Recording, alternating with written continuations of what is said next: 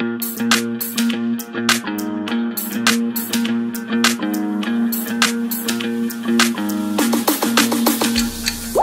erya updf eje erya updf nga bakolera wamu neje erya drc forces nate era bakoze ekyakabi wali mu ggwanga erya congo nate era bakoze ekyamaanyi nate era bafunye obuwanguzi obw'amaanyi. Esawa zino wenjogerera eje erya updf bakubye omu ku basajja ba musa seka baluku omu ku basajja be ab'oku lusegere musa seka baluku ye ssabaddumizi w'akabinja kabayekera ba adf wabula omu ku basajja be omu ku bakomanda be basinga okwesiga akubiddwa eje erya updf nga bakolera wamu neje erya drc forces. Obwo buba buwanguzi bw'amaanyi era nga boolaba mu kavidiyo awo nga boolaba mu kavidiyo banaasi b'eggwanga erya congo bali mu kujaganya okw'amaanyi oluvannyuma lw'eje erya updf neje erya drc forces okukuba komanda ow'amaanyi musa seka baluku gwasinga okwesiga omu ku bakabi mu basajja be ab'oku lusegere.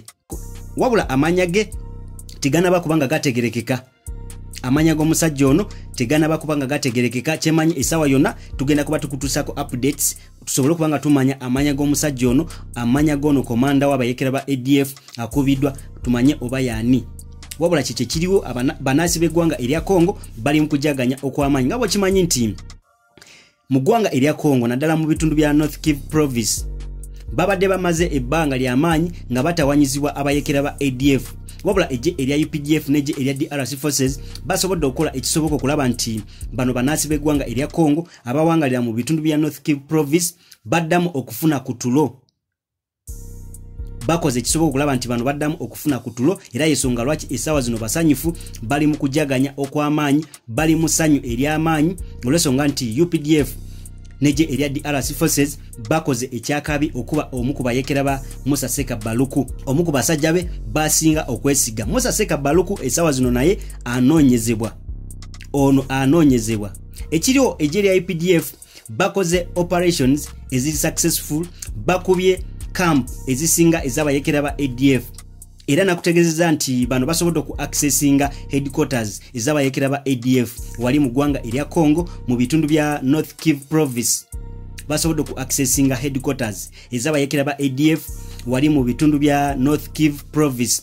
Kikulagira ddala nti abasajja balina kye batuuseeko balina obuwanguzi bwe batuuseeko era ekiriwo bagamba nti essaawa zino bali mu kulaba nti bakola ekisoboka bafefetta abayekera ba adf abasigaddeyo kuba abasinga babakubye essaawa zino bafokasinga ku bakomanda baabwe ne musa seka baluku singa bafuna musa seka baluku buli kimu kijja kuba kitambudde successful.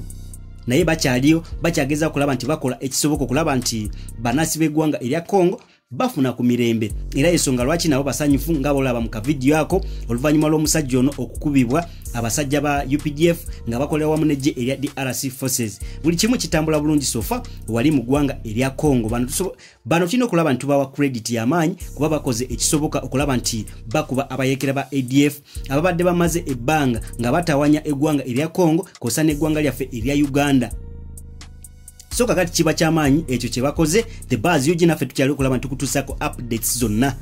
Gwe kyolina okukola bwoba tunaba kusubscribinga subscribinga onyigene ku kadde ka notification awo ojja kusobola okuba nga ofuna updates zonna. Mwena abamaze okusubscribinga mwebale nnyo kyemukoze kyamaanyi kubanga mukyekumidde ku mukutu the bars ug